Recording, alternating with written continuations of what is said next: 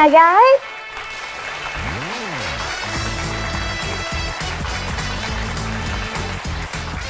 Rồi, mời em trai uh, giới thiệu về mình Dạ, lời nói đầu tiên thì em xin chào hai MC, chú Quyền Linh và chị Ngọc Lan và cũng như uh, tất cả quý vị khán giả đang xem chương trình. Thì em tên là Nguyễn Quốc Bảo, hôm nay em là 27 tuổi. Ừ. Hiện tại thì em đang làm quản lý sản lượng của công ty giấy đề can. Quản lý sản lượng là sao Bảo? Team sản xuất họ sẽ chạy ra bao nhiêu sản lượng và con sẽ là người giám sát cái sản lượng đó và con sẽ báo cáo lại cho cấp trên. À, ít hay nhiều gì con ờ, cũng báo cáo đúng không? Dạ đúng rồi và con sẽ là người chịu trách nhiệm vấn đề đó. Con Lan làm đâu Bảo? Dạ hiện tại thì con đang sinh sống tại Hóc Môn và con đang làm bên khu công nghiệp Tân Bình. Con ở Hóc Môn là ở nhà con hả? Dạ đúng rồi. Ở với ai con? Dạ con hiện tại con đang ở với ba với mẹ, con là con một. Con một luôn Dạ. Con một là- Trai tôi con một nha con một là thấy sắp tới là làm dâu rồi đó mà bạn nữ giới thiệu về mình nào Dạ, em tên là Nguyễn Thị Thu Dầu, năm nay em 20 tuổi, đang sinh sống và làm việc tại thành phố Hồ Chí Minh nè. rồi ở sài gòn là sống với ai nè Dạ, em sống với mẹ và anh nè. ừ, ở quận mấy Dạ, em ở Bình Tân.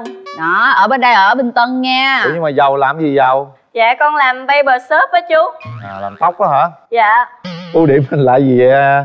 Dạ, ưu điểm của con thì là con là một người thích chơi thể thao và con biết nấu ăn, bây giờ một người biết quan tâm và chia sẻ. Hay, cái này hay đó Khuyết điểm là gì? Dạ, khuyết điểm của con thì có vẻ là con làm trong môi trường nó hơi kiểu là nhiều bạn nam nên là khá là con cũng hơi trầm tính, kỹ lưỡng trong những cái vấn đề trong công việc này kia. Rồi mình quản lý sản lượng mà Dạ, đúng không?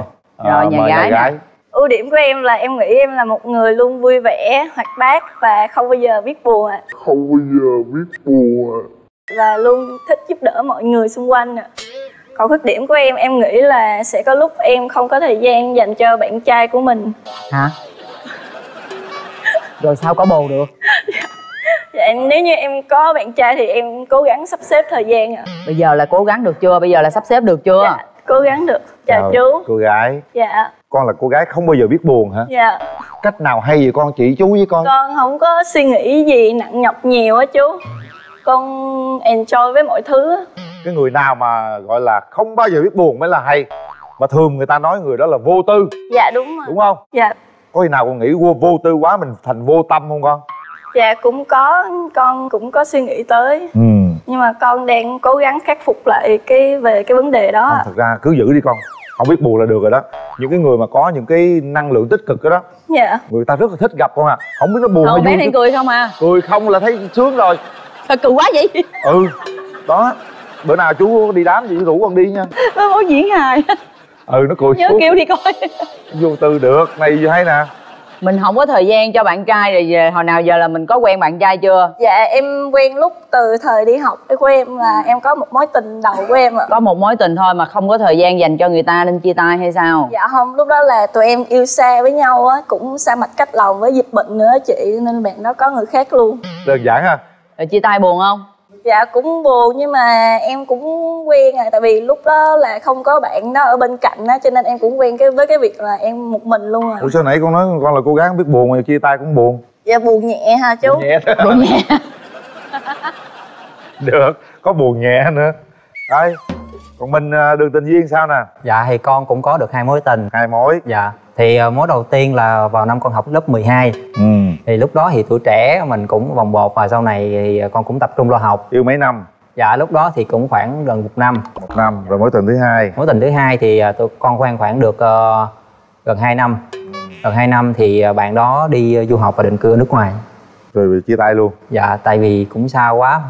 Mối tình thứ nhất là bồng bột Mối tình thứ hai bó bột rồi có buồn không Dạ thì cũng có chị ơi. Nhưng mà nó cũng cười tươi như bên kia luôn vậy đó Nói chứ tình yêu tuổi trẻ mà Nó chưa có gì sâu đậm lắm ha Bởi mình yêu ít đúng không Dạ đúng rồi. Rồi Con muốn có một người yêu lý tưởng thế nào Một mẫu hình người vợ tương lai coi Đối với con thì chỉ cần biết quan tâm chia sẻ mọi thứ trong cuộc sống đối với mình.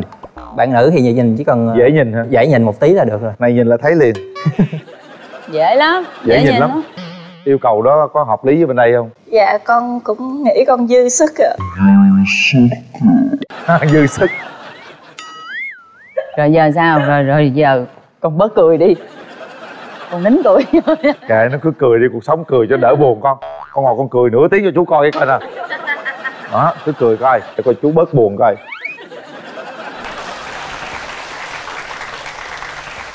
Nó cười hồi chắc xe cấp cứu tới luôn Thôi dừng lại. Được rồi. Cười hồi đứt hơi á Cười quá trời quá đất luôn. Rồi giờ mong muốn có bạn trai như thế nào nè? Dạ mong muốn bạn trai của em là cao trên một mét bảy. Rồi, vui đợi tính xíu. giống em ạ. Tính nó cười suốt vậy đó anh hả? chụp hello. Cao trên mét bảy hả? Dạ được chị. Đó. Rồi tính tình vui vẻ không dạ em thì một người là cũng khá hơi là trầm tính tại vì thì công việc của em nó cũng hơi khô khan á chị. Nhưng mà bây giờ mình có cô này vô là có cười cô này vô là hết khô liền. Dạ đúng rồi. Là vui liền á. Dạ đúng rồi. Được chưa? Dạ cũng rồi được. gì nữa?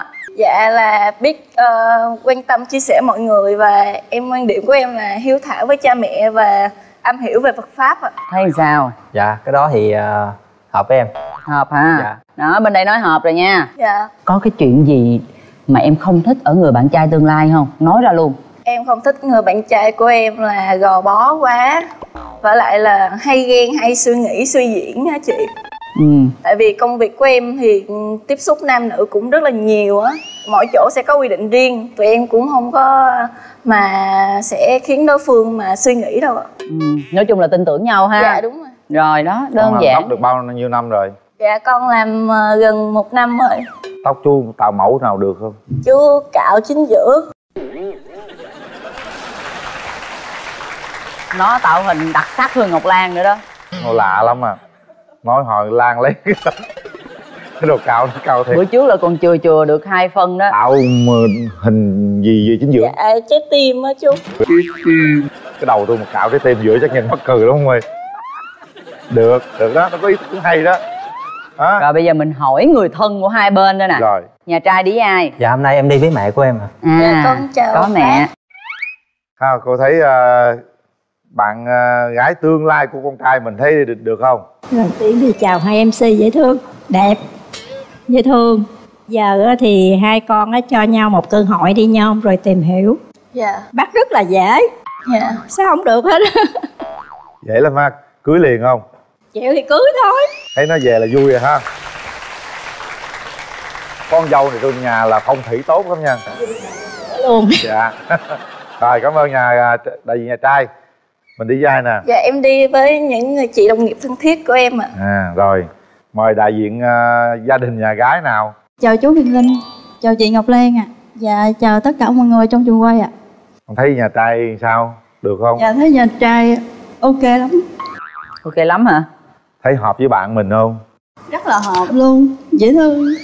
Trước khi đi bạn có dặn ờ, gì không? Có xem kỹ ờ, này giò kia gì cẳng không? được không? Xem giò cẳng được không? Tiệm tóc mà vô chắc nghe cười không à? Đúng không đúng không? Dạ, nguyên ngày chắc cười không hả? Cười bể bụng luôn. Vui mà. Cười tới bể bụng luôn vậy đó. Sợ quá. Rồi được rồi. Bây giờ mình mở rào cho hai bên gặp mặt đi nha. Rồi mở rào. Rồi chuyện của hai em đó tiến tới đi. Quà này bự á. Em tặng cho anh cái rồi anh có quà gửi dành cho em. Dạ em cảm ơn anh. Rồi cảm ơn em. Nói nghe nè nói cho bạn gái biết mình tặng cái gì mà nó bự gì? vậy đó. Dạ anh ơi đứng lên đây lại nè. Anh ơi đứng lên đây lại nè. Đối với anh á, thì trong đây đó là một con gấu bông. Thì anh hy vọng là con gấu bông này nó sẽ thay anh chăm sóc em trong những lúc ngày anh không có mặt ở bên cạnh em. Dạ, món quà ý nghĩa em tặng anh keo quắt tóc và để anh đi ra đường anh có thể chỉnh chu và tự tin với tất cả mọi người. À, cảm ơn. Có keo nào dành cho chú không con? Chú giờ xài keo dính chuột á? Quay quanh kia trời tự nhiên đó. Rồi đó mình trao đổi nhau đi. Rồi không biết là cảm nhận của em khi à, lần đầu tiên gặp anh thì như thế nào ha em thấy anh dễ thương nè nhìn duyên cười cũng dễ thương nè. Anh chơi môn thể thao gì vậy? À, anh thì à, vào cuối tuần thì anh hay đi à, đá bóng với lại à, các đồng nghiệp trong công ty. À đá bóng. Có ngại nếu như em làm công việc mà tiếp xúc nhiều nam nữ giới nhiều không? Không đối với anh thì không có ngại. Công việc nào thì cũng là công việc. Quan trọng là mình có đam mê mình có tận tâm với nó hay không thôi. Dạ, nếu như mình cho nhau cơ hội em em muốn là mình có thể chia sẻ với nhau về mọi thứ buồn vui cũng vậy. Và sắp xếp được thời gian để mà gặp nhau rồi không biết là quan điểm trong tình yêu của em là sẽ như thế nào ha? Quan điểm trong tình yêu của em là phải chung thủy nè và phải biết đối nhân xử thế nữa. Em thì cũng không yêu cầu gì nhiều đâu mà kiểu mình lúc nào cũng phải luôn vui vẻ đừng có suy nghĩ tiêu cực quá thì nó sẽ làm mệt cho hai bên thôi ạ người ta nói quan điểm về tới mình nói quan điểm À, nó đối với anh á, thì quan điểm về tình cảm thì cũng giống như em thôi thì nhưng mà mình phải khi mà trong công việc hoặc là trong cuộc sống tụi mình có những cái vấn đề gì nó khó giải quyết hoặc là mình cảm thấy nó khó chịu thì tốt nhất là mình nên chia sẻ với nhau để cả hai có thể là cùng ngồi lại để mà mình giải quyết cùng một cái vấn đề gì đó. Em nghe nói là anh con một hả? Đúng rồi anh con một. Mình sẽ làm dâu hay sao anh với anh thì ở riêng hay là làm dâu gì thì nó cũng không quan trọng quan trọng là bản thân em và gia đình của em sẽ cảm thấy là phương án nào sẽ tốt cho em mình tại vì em không phải là một người mà giỏi giang việc nhà. Nếu như mà có duyên nợ thì em nghĩ em cũng sẽ cố gắng để hoàn thiện làm một người vợ. Không sao cái đó anh làm được không sao cả. Rồi không biết là nếu như quan điểm của em khi mà mình quen nhau á, thì khoảng bao lâu thì mình sẽ à, tiến xa được hơn em cũng không có đặt tiêu chí về là vấn đề cưới hỏi. Kiểu giống như mình cảm thấy mình yêu nhau thật lòng thì mình cưới thôi ba mẹ em cũng dễ. Rồi à, không biết là ở nhà của em thì là em là con thứ mấy ha? Em là con út trong nhà. Con út trong nhà hả? Dạ nhà em có ba anh em. Và anh em. Dạ rồi à, cái cái công việc của em á, thì theo như anh biết á, thì là cái khoảng thời gian của mình á, vào những cái khoảng cuối tuần hoặc là ngày lễ này kia thì nó cũng khá là bận rộn á. Dạ đúng rồi. Thì à, có lẽ là một cái khoảng thời gian nữa mà mình dành cho nhau thì nó cũng sẽ hơi khó nhưng mà anh nghĩ là mình sẽ khắc phục được chuyện đó. Dạ em cũng nghĩ vậy. Rồi tương lai xa hơn á là quan điểm về con cái thế nào? Ai thích con trai con gái nói ra luôn rồi tiền bạc ai giữ? Sau này về chung với nhau thì không biết là em sẽ thích con trai hay con gái hơn ha em thích cả hai em thích em bé em đẻ được hết á.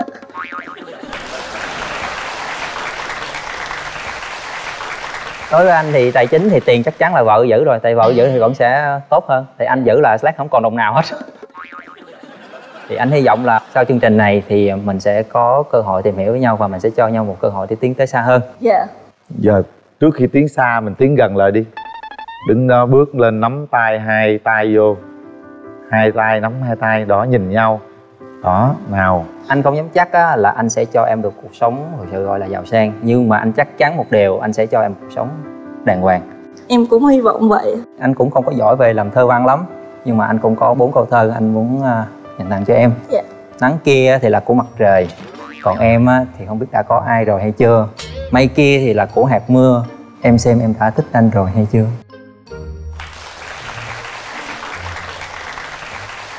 ngôn tình quá trời đất ha. Em gái hát cho em trai nghe đi. Dạ em tặng anh một bài Anh đánh rơi người yêu này. Đêm dần buông Với những muôn ban chiều Khi người chờ kế đến, Khiến em mơ mộng. Anh gì ơi, Anh đánh rơi người yêu này. Chẳng biết khi nào gặp lại anh này How wish you will love it God. How wish you will Em hát hay quá bé ơi. Dễ thương á. Em hát hay quá. Thấy nó nắm tay nhau giống như yêu từ bao giờ luôn vậy đó. Mấy đứa có cần ờ, chị với chú Huyền Linh bấm nút giùm không? Thật ra là chú thấy cô gái này chú thích ngay từ đầu đó. Một cái phong cách rất là dễ thương. Ai cũng mến hết trơn á. Thành ra là cố gắng làm sao chăm sóc cô gái đó nha. Dạ. Chú thấy là nó sẽ bù trừ cho con rất là nhiều dạ. trong cuộc sống này. Moi hết ruột gan mình cái gì suy nghĩ vô cô gái đó nhìn cô gái nói coi nào. Anh thì không có hoa mỹ như người ta nhưng mà tình cảm anh dành cho em chắc chắn là sẽ chân thành. Em cũng vậy.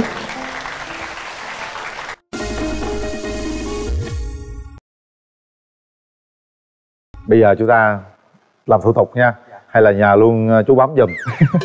Em sao cũng được. Hết. Âm như nào? Chị ngọc lan ngồi sẵn luôn rồi. Hai đứa ờ, hôn nhau cái tôi bấm liền. Một hai ba.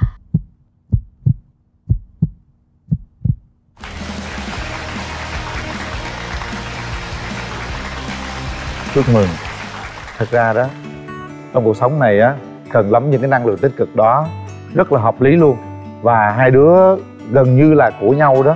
Nội mà cái nắm tay như thế thôi không phải dễ đâu nha. Nó gần như hòa quyện với nhau rồi. Trời sinh một bị phong cặp đó. hả? Trời ơi tao nắm tay nó hỏi anh bị phong thấp hả? Người ta hồi hộp ta ra mồ hôi. Hồi hộp thôi. Nắm tay là thấy hợp rồi đó. Nè thằng này cũng đẹp trai nha có duyên lắm á.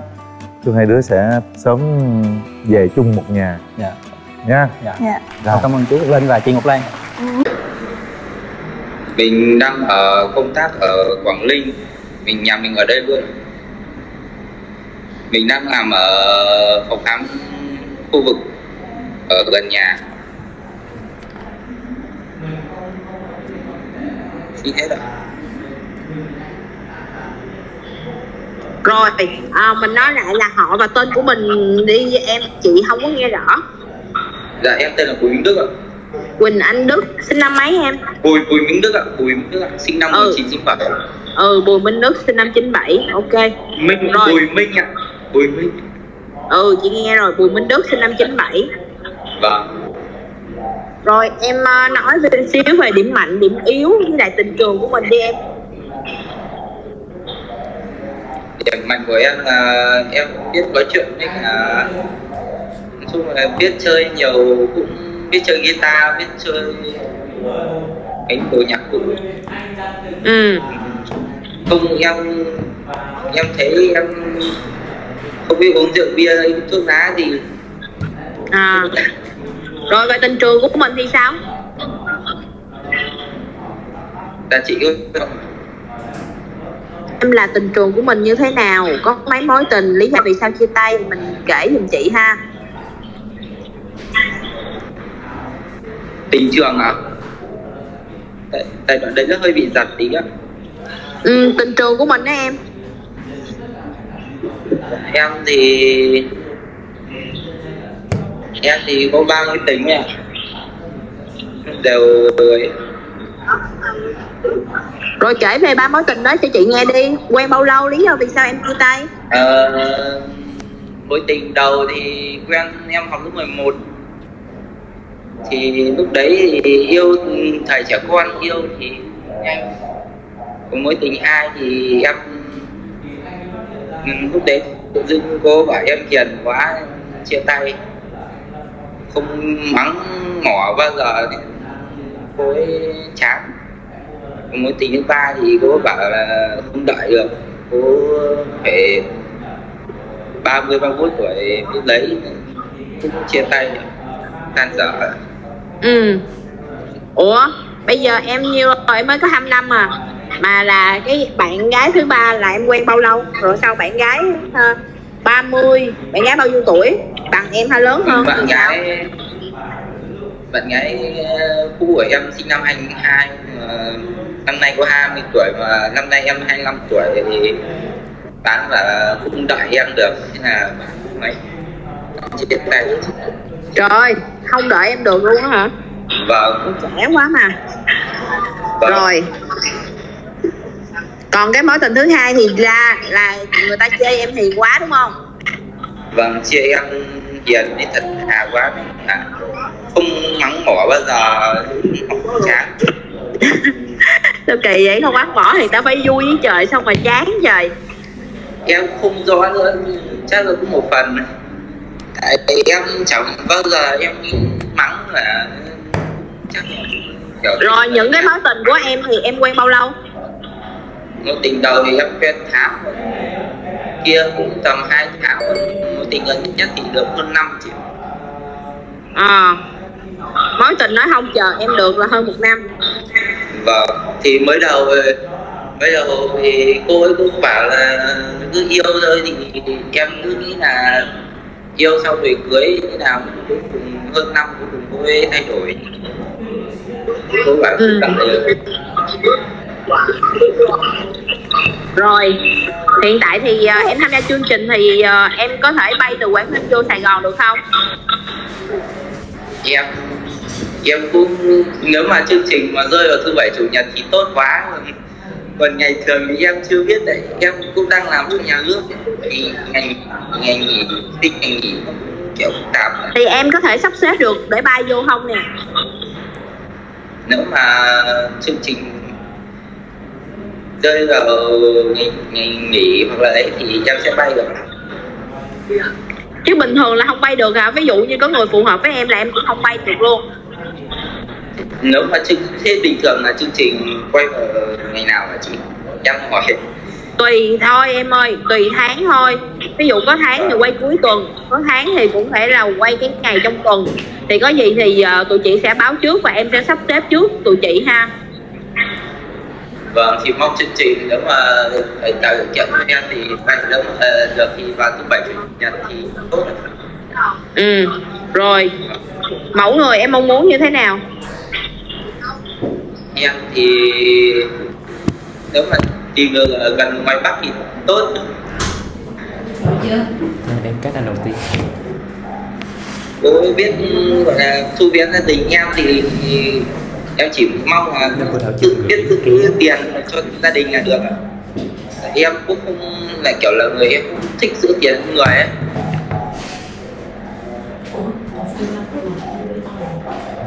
Cô đi phụ bên gì nghĩ à vậy là cần ở ngoài bắc chứ lại biết giữ tiền cho em thôi. Còn về ngoại hình thì sao? Thì, cao một chút được cao. Thì tại em thấp nên mong tôi cao cao một chút để cho ủa là sao? Em bao nhiêu em mét bao nhiêu mà em đòi gái cao? Em mét sáu ạ. Thì em mét sáu thì bạn nó mét rưỡi mét năm năm được rồi chứ sao cần gì gái cao? Tại vì bạn bạn gái cao thì thường tìm những cái bạn trai là cao không à à thế là em xin lỗi em. Nhưng mà em vẫn thích gái cao chứ đúng không? Vâng nếu mà hợp nhau thì được. Ừ. Rồi ok chị sẽ ghi nhận ở đây. Rồi còn gì về ngoại hình nữa không? Mà em mong muốn không? Ừ, cô đừng gầy quá là được. Min là mông min là được. Ừ mũm mỉm xíu rồi. Vâng với cả kiểu gần gần tuổi em gần tuổi em ừ. Vâng. Lớn tuổi hơn được không lớn tuổi à? Lớn tuổi. Nếu mà hợp nhau thì được. Hợp nhau ở điểm nào thì em thấy được. Nếu mà cách nói chuyện hợp là cách em nói chuyện thấy hợp thì ví dụ như là cái cách của chuyện của bạn gái như thế nào ví dụ vui vẻ hòa đồng cái gì đó chứ bây giờ em nói chung chung vậy sao chị biết mẫu người của em đúng không? Kiểu vui vẻ biết và em cũng thích kiểu người thích xem Hàn Quốc vì em em thích xem phim Hàn Quốc. Ừ. À. rồi. Em không rồi em không thích gì ở bạn gái? Uhm, em không thích là mong cô về cô đừng tiêu hoang phí là em mong là kiếm được người về để em để em gửi gắm tiền. Đưa tiền cho em ừ không đi qua hả? Rồi vâng. ơi rồi còn cái gì nữa không em ơi? Dạ em hết rồi. À ok vậy cảm ơn em ha. Buổi casting hôm nay đến đây kết thúc ha. Vâng. Rồi Tuân Năm, hả? năm Tuân hay là Tuấn? 30 ba- 37 tuổi Tuân hay là Tuấn à? Tuân à. Tuân hả? À, Nguyễn Văn Tuân là sinh năm 85 đúng không? Dạ đúng rồi Ừ, mình quê ở đâu và đang làm công việc gì? à, Quê gốc thì ở Nghệ An mà Giờ thì sinh ở Đồng Nai Đang ở Đồng Nai Ừ. Rồi Đang mình đang à, làm, làm à, xây dựng vậy gì? À. Làm xây dựng. Rồi à, cái thu nhập của mình thì như thế nào? Có ổn định không? Cũng à, Cũng bình thường thì Ừ.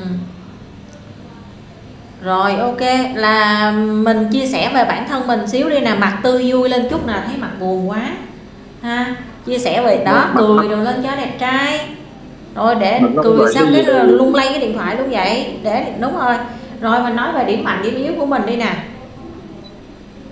Điểm mạnh thì yếu là sao vậy là bản thân mình có cái điểm gì để lên sân khấu mình chia sẻ cho bạn gái hiểu. Ví dụ như là nấu nướng bếp nút hoặc là công việc này kia các thứ thì mình có những cái điểm mạnh gì?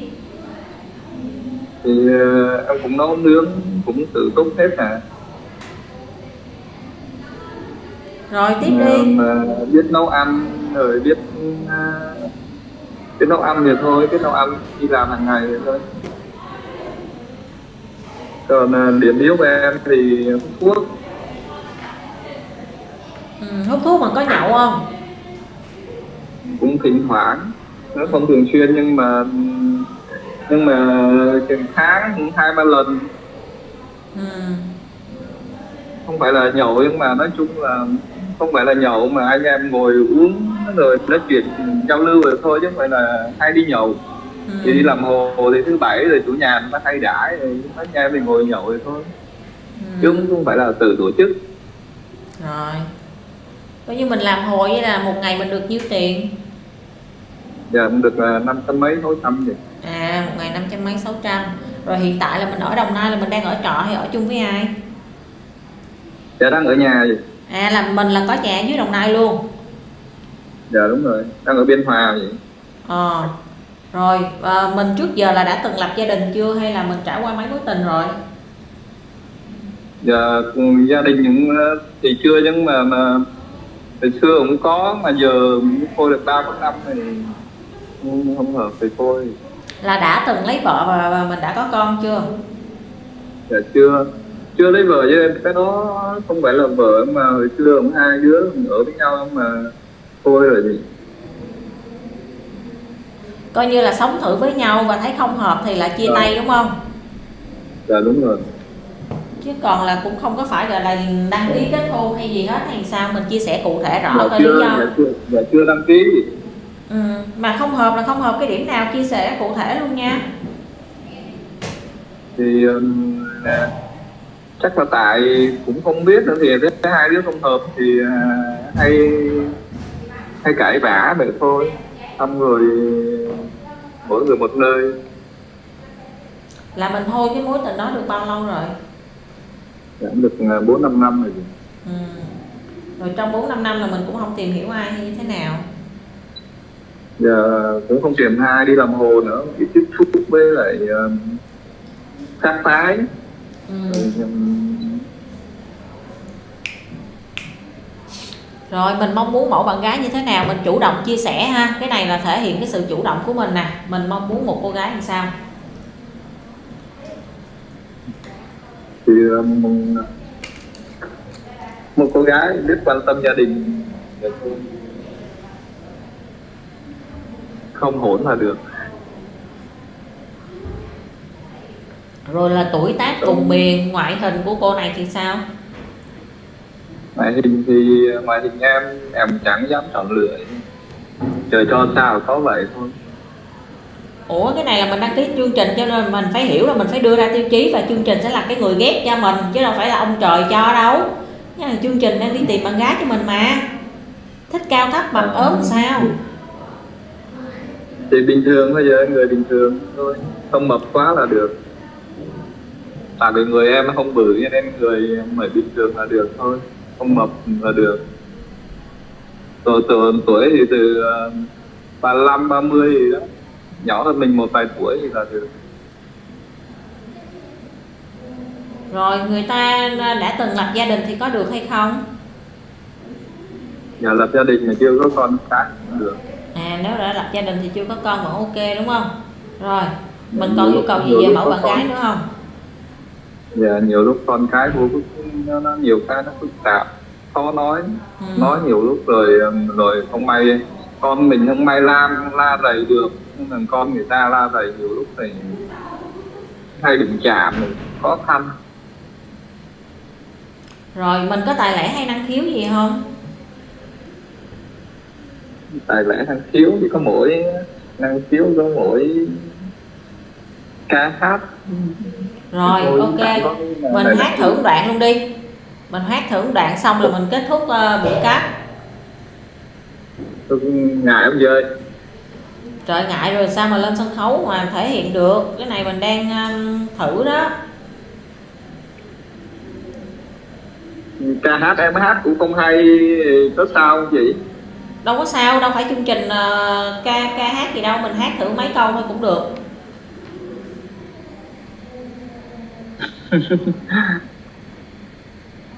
tại vì vừa vừa đi vào karaoke lên chứ bình thường em không hát được vậy à, em chỉ biết à, vừa cũng biết chơi đàn sơ sơ vậy thôi với lại à, cũng ham mê ca hát thôi chứ cũng chẳng có tài hết. Thì ham mê ca hát ông hát thử mấy câu đi. Trời ơi cơ hội cuối cùng cho mình đó. Hát mấy câu bài ruột bài tủ gì cũng được có bài nào vừa Ừm, thử khúc thôi nha. Ừ. nếu thương mến nhau mà sao lời yêu thương đó bờ môi nào đắn đo? Năm tháng ta với đời có vui với ai? Ta áo xanh hay màu hương mối ân tình xưa yêu thì yêu nhiều nhưng chưa biết yêu đường chi và ước mơ những gì hàng nghĩ ghét mờ tăng mây khi nhớ ai nhớ ai trong đêm dài buông khóc tối quên sao rồi ok. Phải chi mình tự tin mạnh dạng vậy được không? Ok rồi. Nói chung là buổi cắt của mình xong rồi. Đợi thông tin của